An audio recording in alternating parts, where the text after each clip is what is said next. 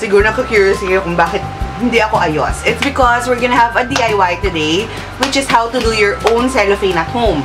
So, ako, as you know me guys, yung mga na nanonood sa akin way, way back, talaga mahilig ako sa DIY. Pampaganda na DIY, sa bahay na DIY, anything na DIY, gustong gusto ko. So, this is really my forte. So, today, we're gonna have um, the uh, DIY ulit on how to do your cellophane at home. I just have few reminders for you before I introduce the product that I will, that I will use. Parang ano na rin to, review na itong product na to at the same time kasi it's the first time na gagamitin ko tong cellophane na to. Cellophane is a, a temporary type of treatment. Hindi siya pang matagalan, hindi siya yung katulad ng rebonding, hindi siya ganon.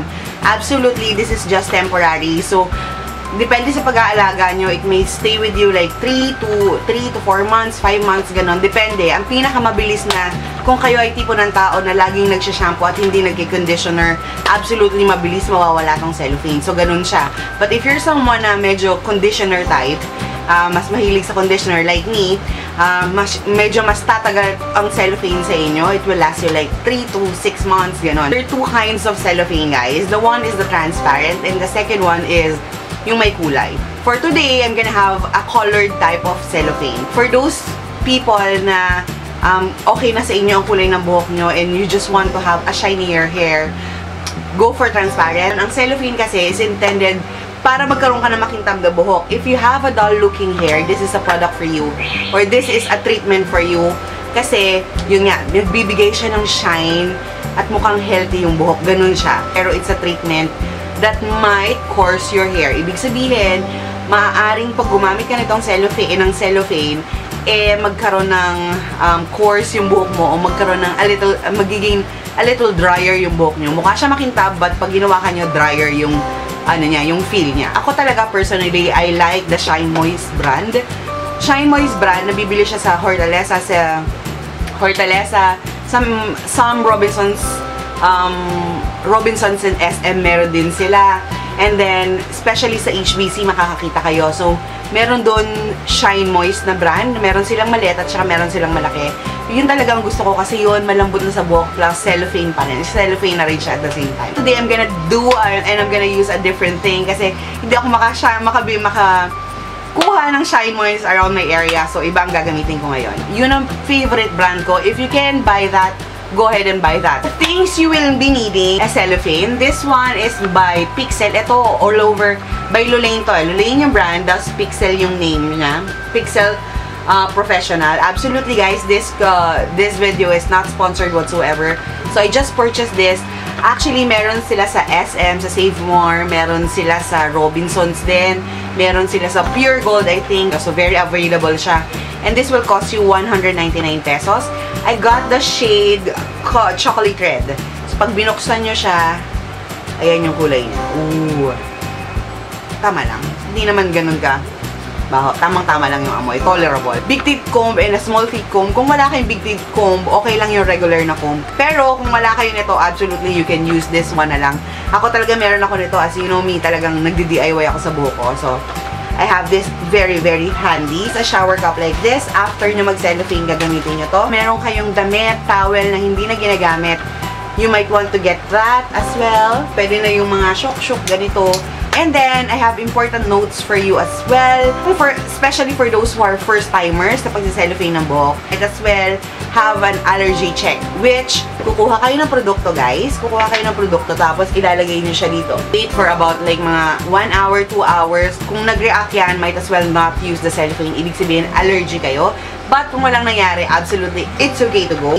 Yung damit nyo, dapat hindi siya hindi siya importante. Patapon na, in other words. Dapat malinis ang buhok. So, you have to shampoo your hair first. Huwag yung shampoo with conditioner. Plain shampoo lang. Clean your hair. Ako, nag, nag-wash na ako ng buhok kasi your hair must be damp. Ibig sabihin, it is between wet and dry. Ganun siya. Ito, this one is damp already. So, medyo nag, uh, ano pa siya, pag ginawahan nyo, malamig pa siya. Ibig sabihin, basa-basa pa. So, ganun ang damp. Hindi siya, hindi siya dapat nagde-drape up, up came out from the shower. Hindi ganun dapat medyo patuyo na, ganon, yung, yung dapat ma-attain nyo. And also, again, you have to use shampoo lang.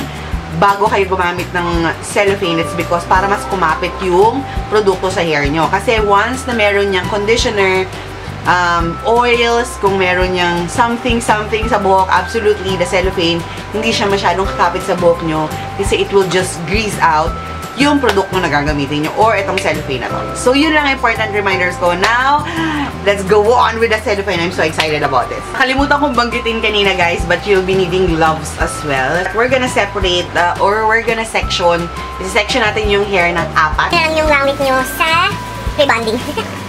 Pero, this is the easiest, easiest way to start, ako usually nag start talaga ako sa bottom. Mas mahirap pag galing kayo sa taas pababa. Again, this is Lolaine Pixel Professional Cellophane Hair Color Wax. I choose A3 or chocolate red. Actually, etong produkto na to, meron siyang instruction din. Ayan. So, nabasa ko naman na siya. And same lang kami ng ginagawa. So, hindi ko na isa-isahin yan. So, eto siya. This is composed of 100 grams lang siya. Ambisyosa ako. Kana, feeling ko kasya to sa hair ko. Eh, sobrang haba ng hair ko, guys. Ayan, oh. ba Sobrang haba ng aking buhok. Anyway, we're just gonna work this out. Nilibag din ba yung kabilang kilikili ko? Meron din. Ano ba yan? Nililibag ako sobrang init. From here, guys, kuha lang kayo. Damihan nyo na onte. Yung tamang-tama lang. And then, twist this up.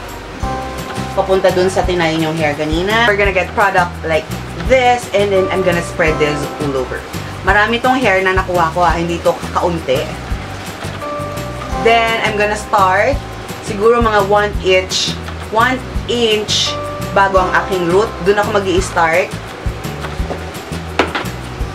Sige, lahat naglaglaga na.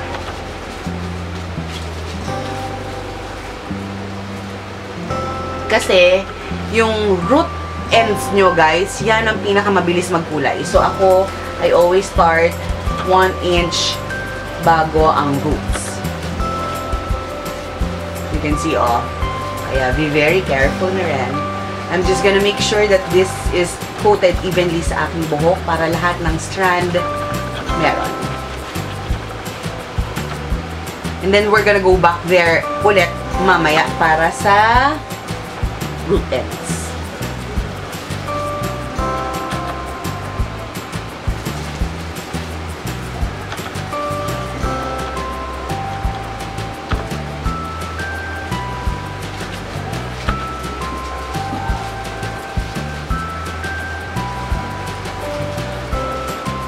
Kung sa tingin nyo guys, na medyo makapal ang buhok nyo, ako nag-ambisyon lang ako na isa lang magagamit ko eh. Pero ako'y tinitipid ko lang. Super tipid na to.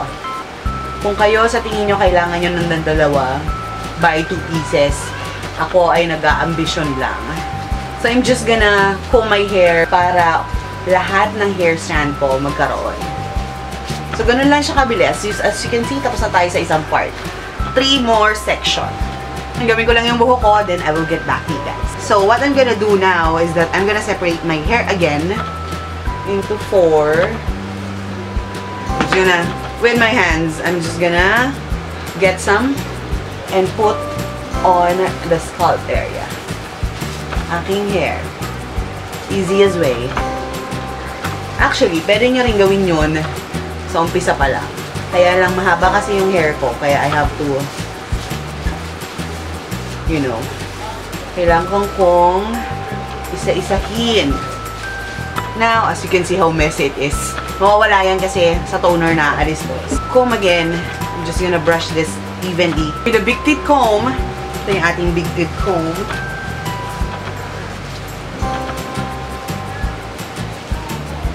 I'm just gonna coat this, eh, comb this para again, lahat ng product, lahat ng strands, magkaroon ng cellophane. Done. Now, I'm gonna tie my hair. Pasensya na kayo. I look ugly. I know. Yan. Then, papatungan natin ng cloth. Ang purpose ng cloth, para mag-intensify yung heat sa buhok nyo. Kasi, ang cellophane, kailangan hini-heater. Kung may heater kayo, good for you. Pero sa katulad kung walang heater, at most probably, lahat tayo walang heater, kakaunti lang ang meron, i-cover nyo lang yung hair nyo ganyan. And then, we're gonna get our shower cap and close this. Ang purpose nito, guys, kaya meron towel sa loob, para mag-intense yung heat sa buhok nyo. Talagang mainit na mainit dyan sa loob. Para mas lalong gumanda yung inyong cellophane or yung effect ng cellophane sa hair nyo.